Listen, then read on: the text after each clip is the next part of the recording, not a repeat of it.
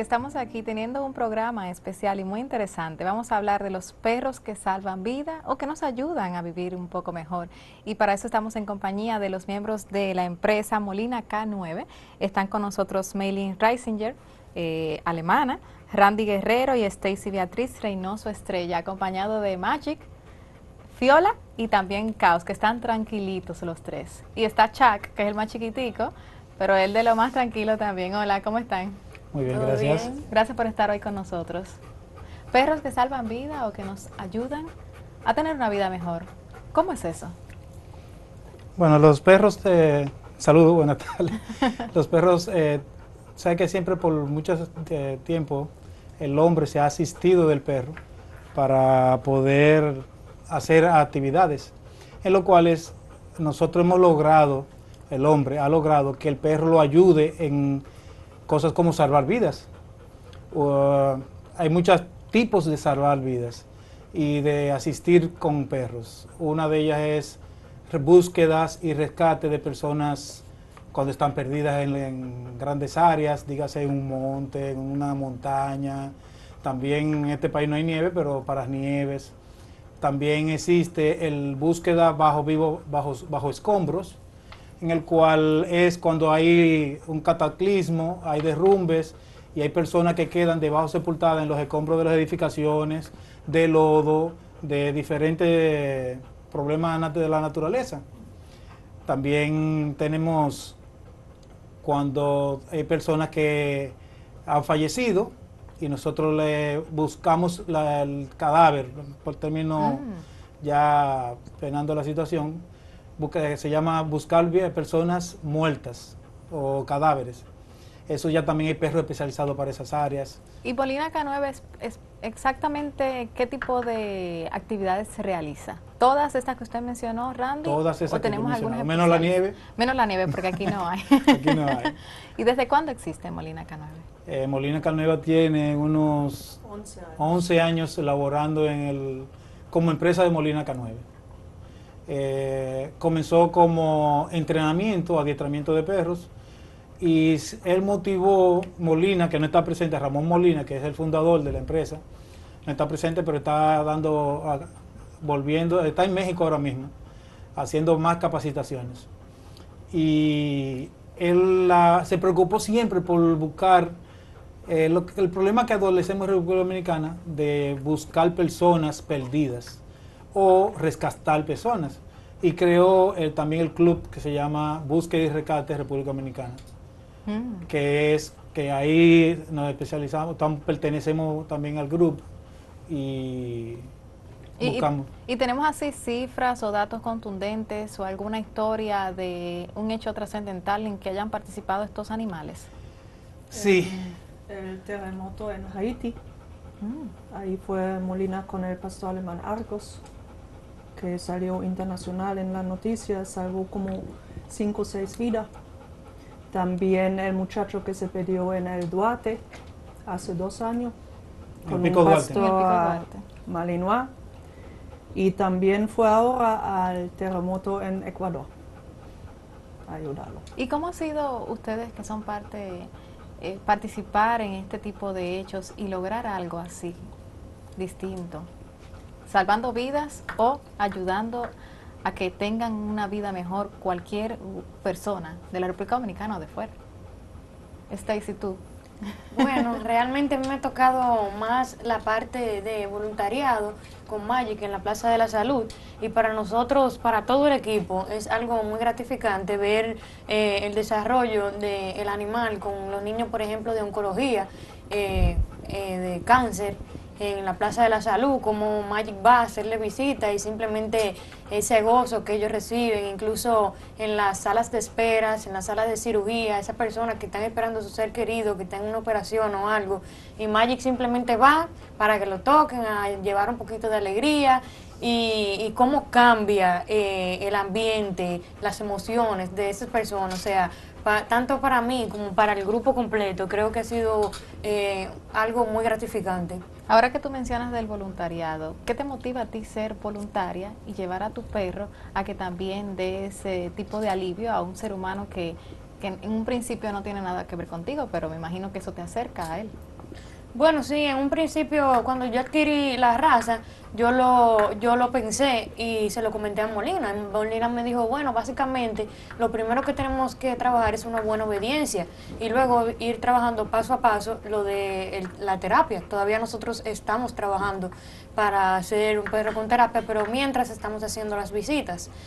Eh, me motiva, siempre yo he sido voluntaria, eh, estoy, estoy trabajando como voluntaria también en otros lugares con niños especiales y el verlo en Estados Unidos, fuera, este, este proyecto, este trabajo, eh, me animó mucho y como aquí no hay nada parecido, eh, pues entonces hicimos las conexiones del lugar, entrenamos todo lo que se pudo con Magic, seguimos en eso y nada, la motivación es ver la sonrisa de esos niños, tú sabes, y, y poder llevar un poquito de alegría y de paz y de gozo. ¿Tú tienes más perros? Eh, sí, Shaq. Chuck también está entrenado. Eh, obediencia básica también. No tanto como, o sea, no hace las visitas en el voluntariado de la Plaza de la Salud. Eh, justamente Randy se lleva, o, o también Maylin, se lleva mucho tiempo el entrenamiento de un perro. Eh, se lleva mucho esfuerzo para ustedes Toda una vida. toda una vida. Así O es. sea, toda la vida del perro, porque el perro tiene vida más que nosotros, pero desde que nacen, uno, para si tiene un fin específico, uno desde que nacen comienza a adaptarlo a ese fin específico.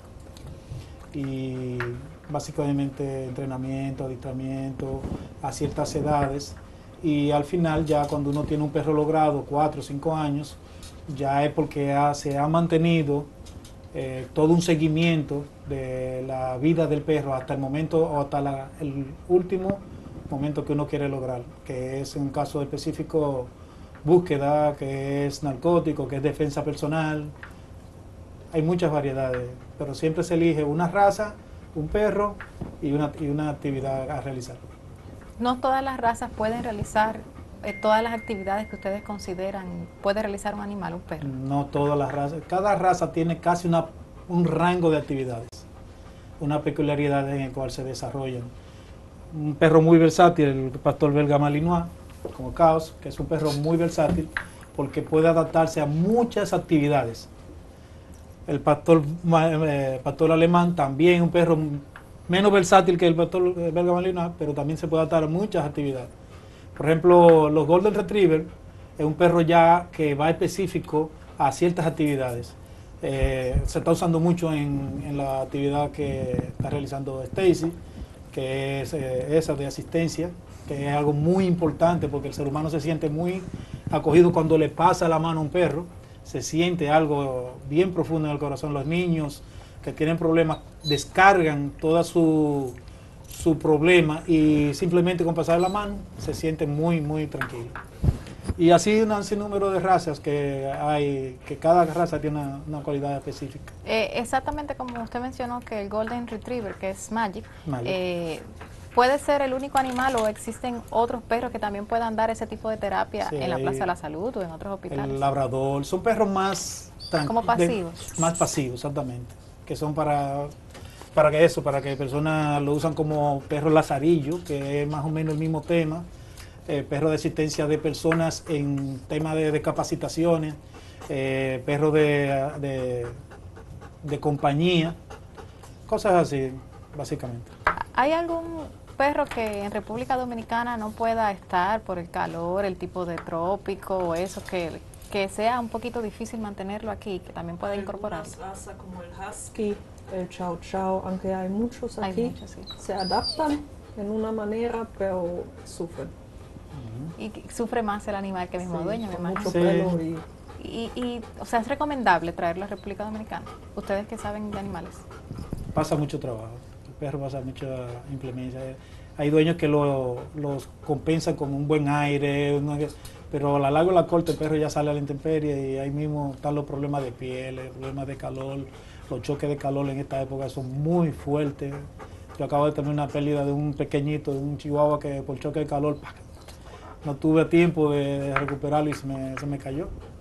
Cosas de la vida Sí, y pasan.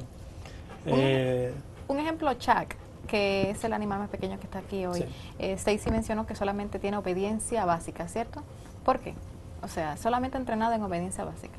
Porque eso era lo que yo quería ¿Tú en mi perro. O sea, uno puede llevar eh, el perro a- hasta donde uno quiera. Y yo solamente lo quería para obediencia básica. Y un perro de compañía también. Sí, de compañía. O sea, es un perro que anda la persona con él y lo siente, es una compañía. Y se adiestran a dia- eh, básica para poder tenerlo en áreas. Tal, compa- compartirlo con personas que no le molesten, que sepan hacer las cosas y entienden el lenguaje de uno cuando uno le habla.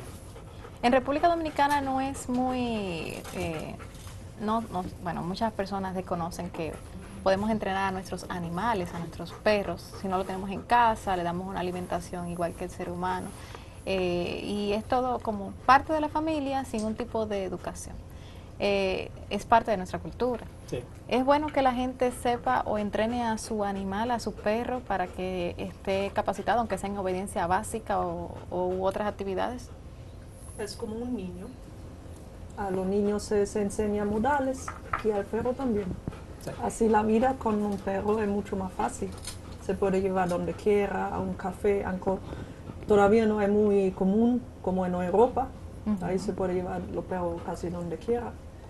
Pero el- la obediencia ni siquiera es tan importante, el control y el comportamiento de un perro, que no rompe cosas, que no haga pipí en la casa, que se comporta con otros animales, con niños.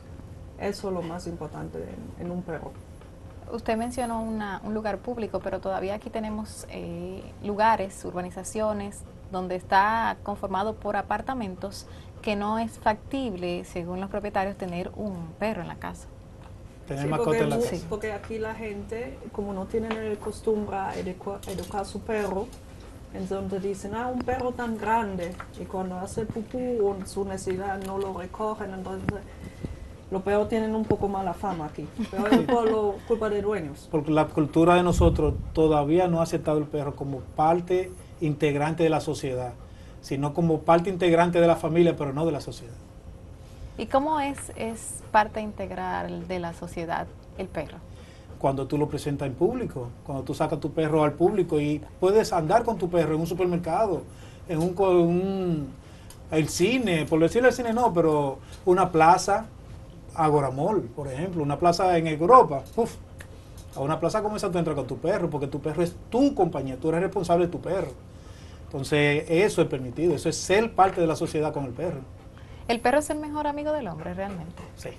Sí lo es. Hay, Para lo que- nosotros hay sí. algunos que dicen que el gato, pero el perro es mejor amigo del hombre, definitivamente. Y más como tú, tú ves acá trabajando. No, Caos está súper tranquilo. ¿no? Y mismo. tranquilo ahí, ¿no? La vamos a verlo Pe- pe- trabajando pero ahorita. cuando trabaja, realiza un buen Sí. trabajo.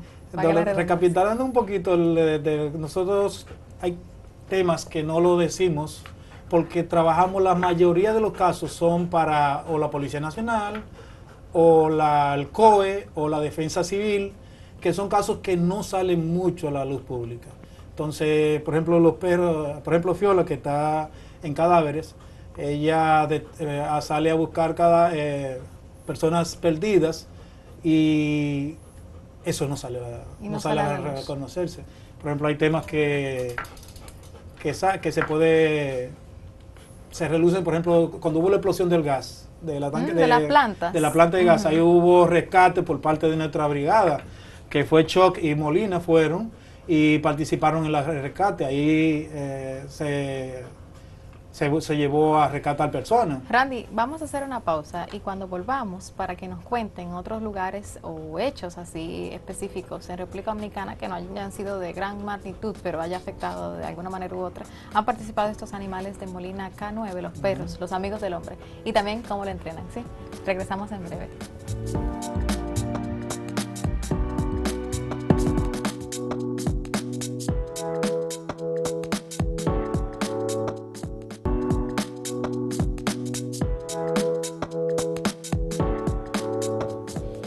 Seguimos aquí hablando con los entrenadores del mejor amigo del hombre, los perros, eh, Molina K9. Estábamos hablando, Randy, de esos hechos en que han participado estos animales de Molina K9 entrenados por ustedes. para que nos sigas contando más o menos qué han hecho específicamente. Mm, Bueno, eh, la- eh, hay actividades que realizamos en campo que no se dan A conocer. a conocer por la sencilla razón que trabajamos para el organismo catrense. Y aunque no pertenezcamos al organismo catrense, nuestros perros y nosotros el binomio sí hacemos la actividad porque necesitan. Ellos tienen muchas brigadas también, pero usan las brigadas de nosotros también. Y, por ejemplo, en cierto momento hubo un canadiense que se peleó por las montañas de Monte Plata, de Puerto Plata, y fue dos de nuestro binomio que rescataron a la persona. De ahí surgieron varias actividades y cosas.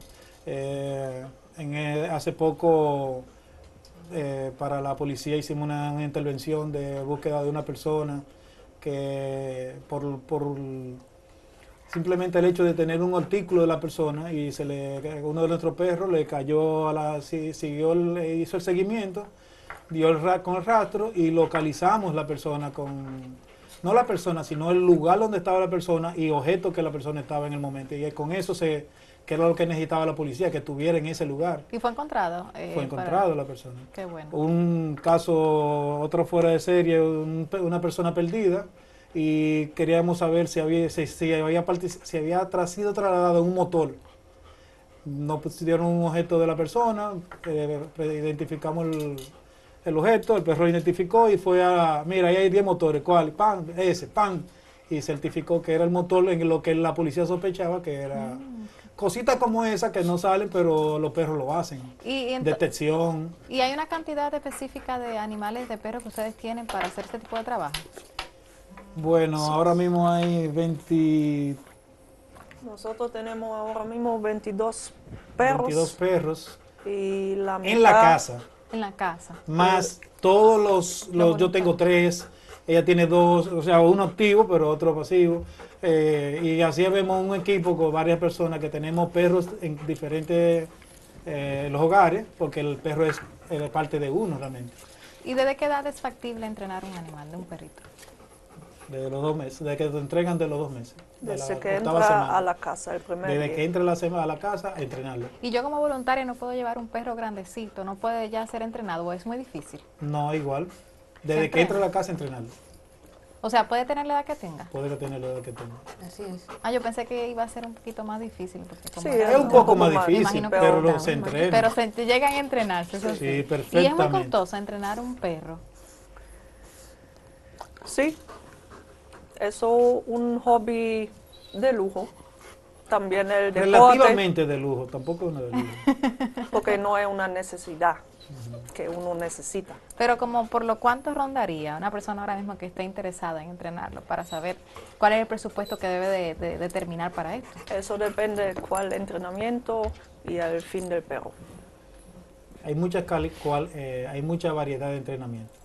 Generalmente la persona lo que quiere es que le entrenen para comportamiento, que es el perro haga pipí, pupú, y haga sus necesidades, no se porte mal, no rompa cosas, eh, vaya cuando no te ladre, esas cositas se llaman comportamiento, un entrenamiento por comportamiento. Obediencia básica, que es sit, plus, fus, se siente, se acueste, se, se retenga y andar contigo socializado, eso es una obediencia básica. Después de ahí pasa a diferentes, último, por ejemplo, Caos está en defensa personal. Este es especializado en defensa personal. Ya él está a nivel alto, muy alto. Ya tiene dos años con él, trabajándolo día por día, desde el día que le llegó a sus manos, que fue a los dos meses y algo. Y ella tiene día por día trabajando su perro. Y ahorita vamos a ver un momentico, una demostración de lo que hace Caos, aunque tú lo veas tranquilito ahí.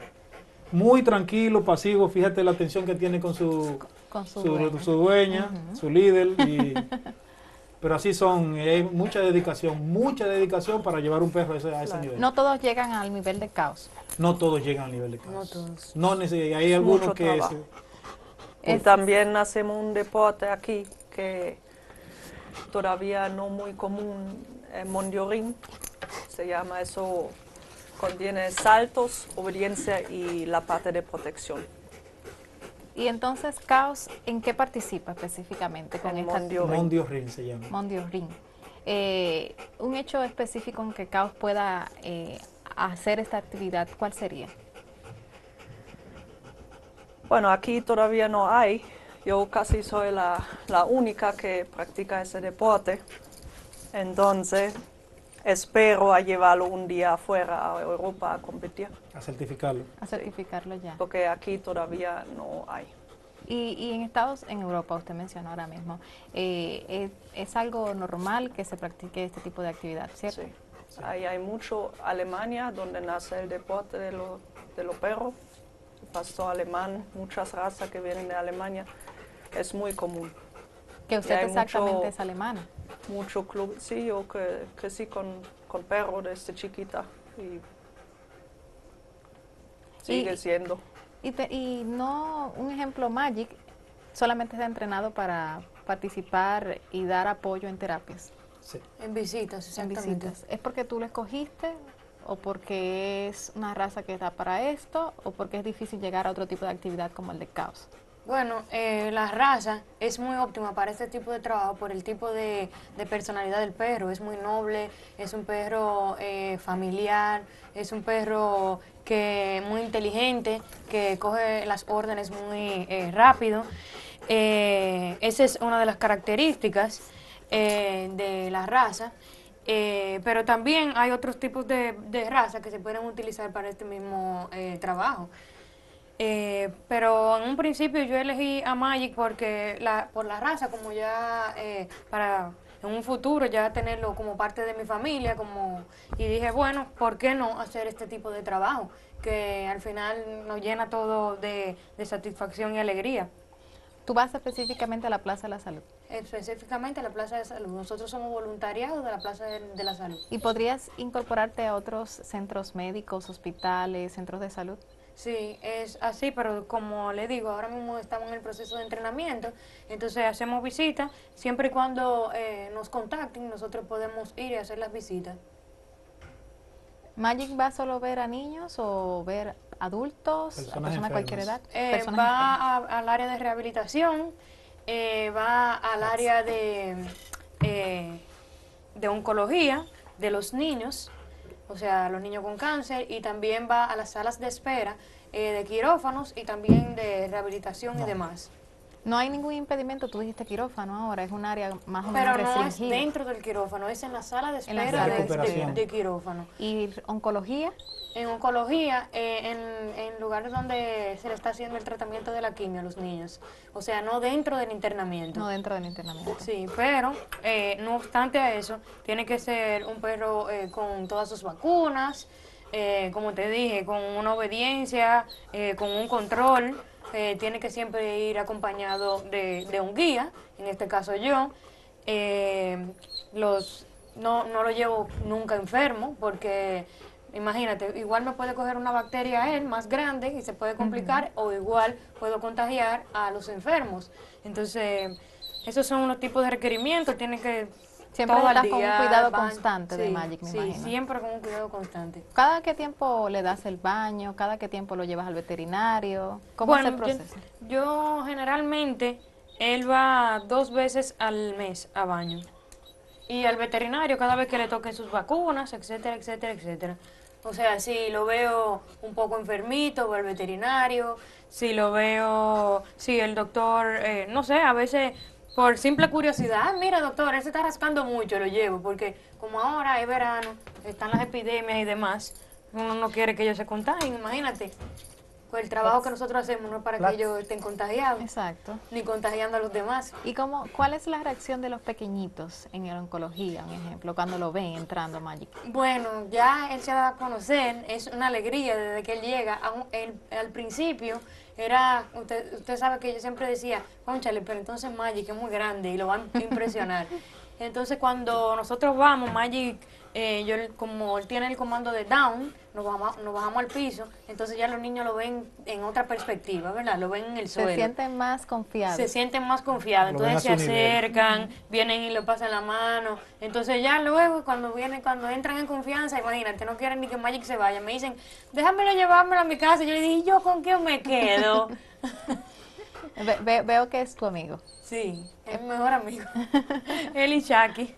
¿Y cómo, ya me hablaste del comportamiento de los niños y eso, pero eh, así tu sentir desde un principio, te lo piden y que se lo deje y todo, ¿cómo tú te sientes?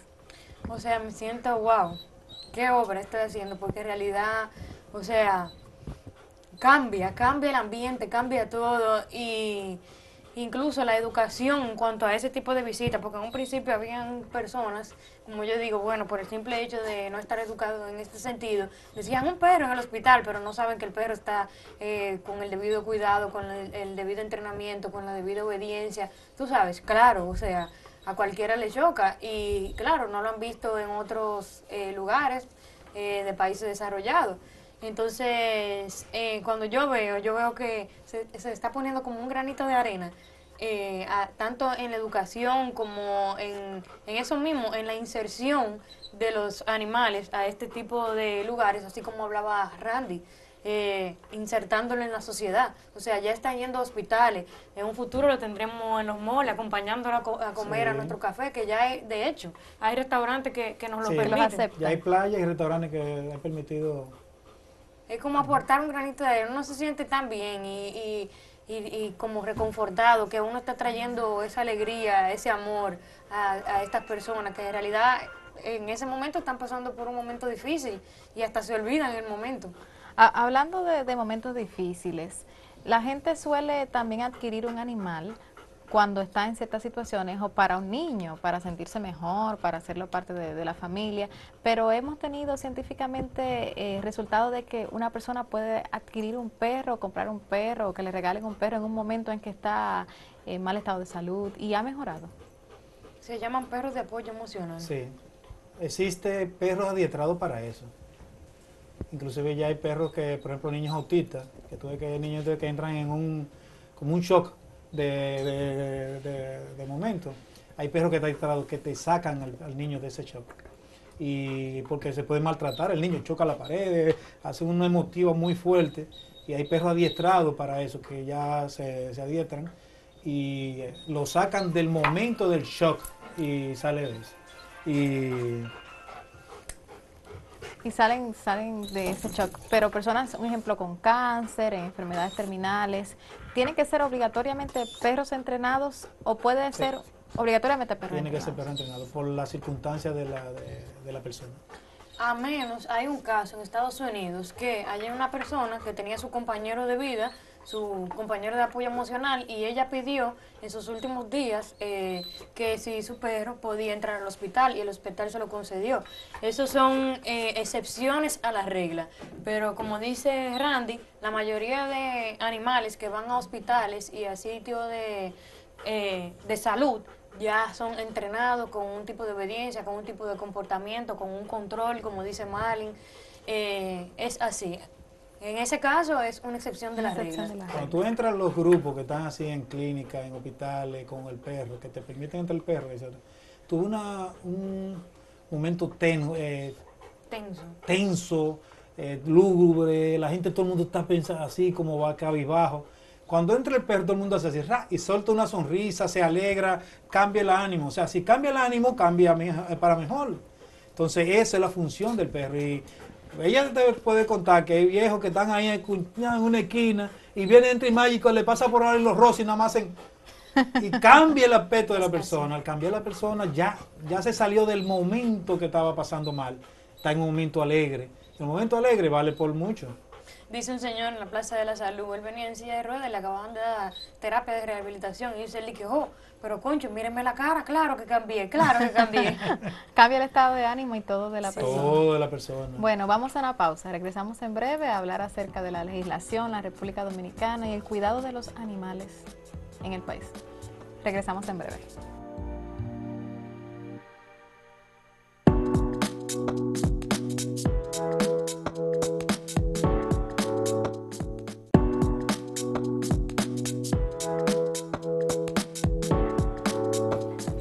Y seguimos aquí en A partir de ahora. ¿Tenemos alguna ley de protección animal en la República Dominicana y se cumple? Sí, existe la ley, es la 248-12, el cual tenemos nuestra, la jurista referente, eh, referente a eso, la licenciada Marilyn Lois, que la está llevando muy a cabalidad. a cabalidad. Eh, se está ejecutando y se están logrando bastantes metas con esa ley. Se, se han pasado varios casos, en los cuales ella ha sido la persona ejecutora y ha, ha hecho ya raíces con ese tema. Ha habido varios casos. Y también detrás de casos, hay personas que ven un caso, se lo remiten a ella y ella le da seguimiento a esos casos de maltrato animal.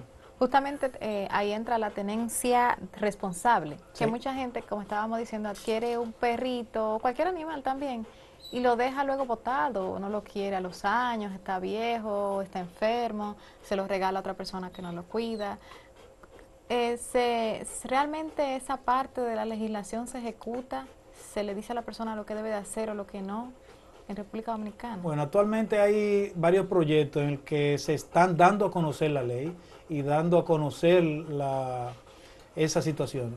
Eh, Por ejemplo, hay una empresa que está dando charlas en colegio por colegio.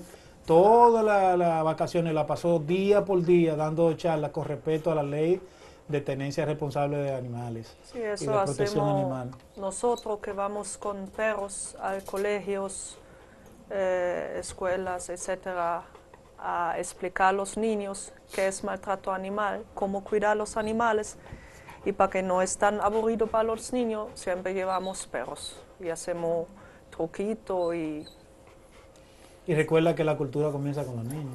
Claro que Si sí. Claro, tú logras que los niños inculcárselo, No, que a muchos de adultos niños- serán ya A muchos niños le compran un animal o les regalan un animalito y no le enseñan cómo cuidarlo, lo maltratan también y así eso se refleja en cómo será cuando adulto Sí. este ser humano. Eh, también vimos un caso hace unos meses que fue la el envenenamiento de animales en los alrededores de la feria ganadera, perros, gatos, o sea, viralatas. ¿Hay algún cumplimiento dentro de la, de la legislación que protege al animal que, que, cuide esta parte, que también haya una sanción para una persona que haga esto? Sí, se, se- la ley eh, se ejecutó, se hizo una sanción sobre cierta persona, no tengo el dato específico ahora, pero sí fue, se ejecutó doña Marilyn lo, lo ejecutó. Eh, Y se hizo esa caminata eh, apoyando hizo- la causa, en la cual eh, Molina K9 y algunos de sus miembros fuimos y nos hicimos presentes. dentro de, se hizo una caminata muy eh, nacional, o sea, muchas personas del ámbito nacional participaron con respecto a ese mismo tema. Y eso trascendió, de ahí fue que la ley cogió mucho más fuerzas. Pero debería todavía endurecerse más este Sí. tipo de sanciones. Sí, debe ser más drástica contra personas que tienen perros amarrados en su casa que sin ningún tipo de consentimiento, sí, con los abandonos de animales, con la, la- esa hay que seguirlo normalizando, hay que seguirlo normalizando. Y yo creo que va de la mano con la misma educación que ya se está haciendo. O sea, ya una vez uno esté educado y uno vea eh, el valor de un animal, el respeto que se le tiene que tener y, y todo lo demás que devenga, eh, yo creo que eso se va a ir dejando a un lado y, y se va a dar más tenencia responsable. Creo que todo va de la mano. ¿Por qué todavía, a pesar de esto, tenemos muchos animales, viralatas, eh, que andan en las calles eh, merodeando, eh, animales que también se vuelven agresivos por las agresiones que reciben de la persona que le pasa por el lado, Sí. que no tiene ningún tipo de protección? Eh, eh, bueno, hablábamos de la cultura dominicana Sí, anteriormente. pero también el Estado funciona en eso. El Estado tiene que poner su grano de arena con respecto a recoger y hacer las recolecciones de animales que no tienen dueños, relativamente el viralate, el famoso viralate, y normalizar esa situación. Todavía el Estado no ha cogido el frente de esa situación. Inmediatamente lo coja, van a haber menos animales en la calle, ya sea perro, gato, caballo, que no, que no tengan libre albedrío. Básicamente en los barrios, porque en la- las calles principales no existen, o existen, se ven mucho menos. Pero hasta que el Estado no coja eso de las manos, no... Y no tenemos ningún eh, parte del Estado también, algún lugar donde los recojan, los, bueno, hemos visto casos en que hasta los sacrifican, pero específicamente el Estado que se encargue de esta recogida de animales. no, esos son personas privadas. Son privados. La Hasta mayoría. ahora son personas privadas. Aunque se dio el primer Picasso con respecto a hacer un albergue para animales, pero todavía está en proceso. No se llegó a ningún acuerdo. No. Mm, hay que ver la- cómo está ahí desarrollándose. Sí se dio un primer aporte que se va a hacer el albergue, pero no sé hasta el nivel que se encuentra en este momento. Sí, pero ahora mismo, como ellos mencionan, todas las instituciones son privadas y, y eso de, de los perros en la calle es también por el, o sea, porque no hay un control en cuanto a los cruces. Y esos perros en la calle, bueno, las mismas instituciones privadas se han encargado de ir castrando poco a poco a los animales, eh, pero eso ha incurrido en gastos, tú sabes, de la institución privada, no del Estado per se. Entonces, bueno, en- a medida que se vaya haciendo ese tipo de castraciones y, y los que están en la calle pues, poniéndose en adopción, que la gente cree conciencia, pues eso va a ir disminuyendo, pero mientras tanto estamos en el proceso. Y es difícil que una gente adopte un perro grande con ciertas eh, cierto aprendizaje de la calle o de otra persona que uno no sabe cómo lo educó. Bueno, ahora mismo estamos en el tema, porque eso es po- con el tiempo va desarrollándose el tema de, de adopciones. Estamos en recoger el animal, acondicionarlo, eh, ya sea con un veterinario, clínicamente, revisarlo, no tiene problemas, no tiene insectos, no tiene problemas normales que un veterinario pueda haber. Entonces se pasa a la etapa de adopción. Estamos en esa etapa. Hay una siguiente etapa que es después de que el animal se, se adquiere, de, de- ya sea recogido o que la persona no puede tenerlo, porque hay personas responsables que dicen no lo puedo tener y lo lleva al albergue o lo se entrega para adopción a otra persona. Entonces eh, hay, hay personas que se encargan de adiestrar a esos perros porque ya ven cualidades en los perros. Entonces son más fáciles de ser adoptados por otras personas. Y esta costumbre está muy interesante que usted menciona ahora, de entregarlo al albergue porque yo no lo puedo tener. ¿Se acostumbra a eso en la República Dominicana? No, en otros países. Aquí todavía, aunque sí he oído casos que sí lo entregan a, a las instituciones que hemos mencionado, a Animal Lover, que de personas de ese, de ese ambiente, que lo, lo- lo agarran para adoptarlo y lo entregan en adopción. Hacen una especie de, de presentación y entregan perro en adopción. Y hay personas que lo, lo aceptan en adopción con un contrato. Y- De responsabilidad. De responsabilidad. Es decir, Por que eso hay que educar a los perritos temprano, porque es comprobado si el perro se comporta bien en la casa, si sabe dar la pata, casi nunca lo botan. Exactamente. Es Un perro adiestrado no, lo- no va a la calle. ¿Por qué votan a los animales? ¿Por qué votan a los perros? Porque rompen cosas, porque hagan pipí, porque ladran, ese tipo de cosas. porque Entonces no viene siendo la culpa del ser humano. Sí, Sí. porque no 100%. educan a los perros temprano. Es así. Una persona particular, un ejemplo, yo que adquiera un animal pequeño ahora mismo, puedo decirle qué hacer y él me va a, hacer caso si yo lo digo con autoridad, sin tener un adiestramiento así eh, profesional o llevarlo donde ustedes. ¿Es posible? Bueno, como hoy eh, día hay Google, Internet, ya es mucho más fácil. Hay y tenemos material. personas que llegan con su perrito que saben muchísimo y dicen, ah, yo vi eso en YouTube y, y cosas. Pero también ayudamos personas que quieren un perro, por ejemplo, si quieres un chihuahua. Ellos llegan, nosotros queremos un perro para una familia, tenemos dos niños y nosotros ayudamos a la persona a, a elegir el perro Adecuado. correcto. o- Correcto, adecuado para su familia. porque algunas razas pueden vivir mucho más fácil en un apartamento que, que un, un perro de trabajo. Un, un mensaje hacia la población para que adquieran conciencia de que es tener un animal, o específicamente un perro, entre su familia, en la sociedad. ¿Quién lo quiere dar? Stacy, todos te miraron. Stacy. ¿Será porque hago el trabajo de voluntariado? Bueno, Sí, claro. eh, en realidad eh, a mí me ha tocado eh, dos eh, mascotas que más que apoyo emocional, o sea, brindan amor y, y traen conciencia al mundo, que en realidad es muy importante una tenencia eh, responsable eh, basada en una educación en una educación básica para, como nosotros tenemos un eslogan, perros educados, no molestamos. En la educación está todo, eso es como un niño que uno no lo eduque y viva haciendo eh, tonterías por ahí. Así mismo, si uno tiene un perro educado, eh, es muchísimo más fácil para la inserción eh, en la sociedad, que es lo que todos los que tenemos mascotas y en un futuro pensamos adquirir, queremos. El Genial. dominicano tiene un problema, es que todos tenemos perros, pero nadie sabemos tener un perro. Pero si hay, por ejemplo, estábamos comentando el tema hace poco de que en los campos tuve un señor con un perro que siempre anda a su lado y uno cree que el Señor es adiestrador de perro, porque el perro, se, cuando él se para, se para. Cuando él está acotado, está sentado, está el perro sentado.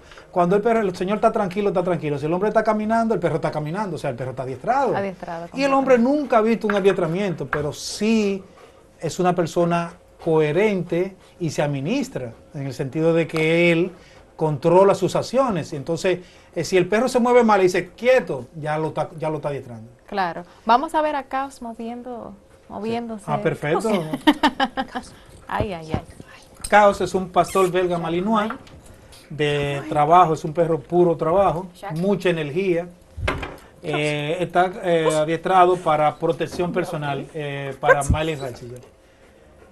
Y Mundio Ring, ella practica deporte Mundio Ring, pero el Mundio Ring es para la realidad protección personal. Él ahora está eh, en una posición que llama Platz, que es acostado. Fíjese que siempre está atento a su dueña. Siempre está atento a su dueña. Está totalmente... Él, va a estar, él le está dando comandos que va a estar todo el tiempo pegado a ella. En ese caso ahí se sentó. Manténlo pegado a ti, Marlin, todo el tiempo. Camina. Protegiéndola ante todo. Ahí está ahora mismo en obediencia avanzada, se llama esa parte. Obediencia avanzada es donde ella, eh, ella da un comando y él lo ejecuta inmediatamente. Platz. Steh. Steh. Así. Steh. Steh. Platz. Así. Steh. Ahora ponlo junto a ti, Marlin. ¿Y, y en qué caso se atacaría al perro? Vamos si le pasa enseñarte. algo a Miley. Camina hacia adelante, Marlin. Fíjese que el perro siempre está junto con ella. Sí. Mira. Déjalo quieto. Bleib. Muévete. Llámalo hacia ti. Entre tus piernas. A tu lado. Acostado. Ella está solicitando que ladre. Específicamente ladre. Te puedo decir que ella... ¿Tú crees que ese perro me mordería? No lo sé. Agarra ahí. No. Sí. Shaq. Caos. Mira, Fiora. ¿Tú crees que me mordería? Viola. Viola. Platz. Platz. Sácalo de ahí. Sí, lo voy a poner. Ven, No me corazón. mordería, ¿no, Alan? Ujú. Pues mira.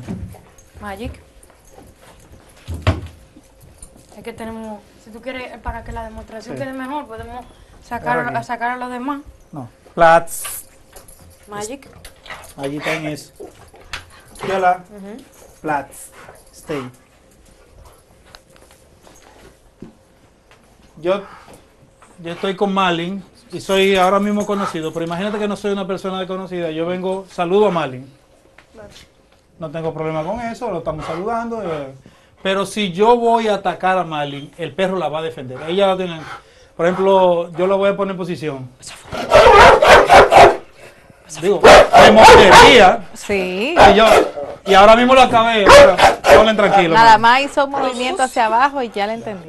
Ya él está en posición ahora segura. Y ya yo puedo acercarme a él y saludarlo otra vez. Pero si yo le topo a ella, él me va a morder. Porque él está diseñado para el adiestramiento. de él. Y tú lo ves, está tranquilo ahorita. ¿eh? Sí, y ya ahora ponle posición tranquilo otra vez. Bleib. Ya ahora se cerró el negocio. Ya ahí está tranquilo, ya no va a pasar nada. Nah, ya no, yo no soy su centro de atención, pero si me pongo en, en conflicto con ella, sí soy su centro de atención. De inmediato ella- la ella. Excelente. Bueno, gracias por estar con nosotros. Magic sits. Bueno, gracias por estar con nosotros. A Caos, a Magic y a Fiola. Y y cada uno de ustedes. Chucky, Un excelente programa. Y Chuck, aunque es chiquitito, no se me Sí. puede olvidar. Muchas Él hace una función que es muy buena, que es la de ser mascota para nosotros. Claro que Si sí, lo- lo- excelente. Bueno, gracias por esta demostración. Llegamos al final de a partir de ahora. Ustedes eh, quédense con más en Acento TV. Hasta mañana.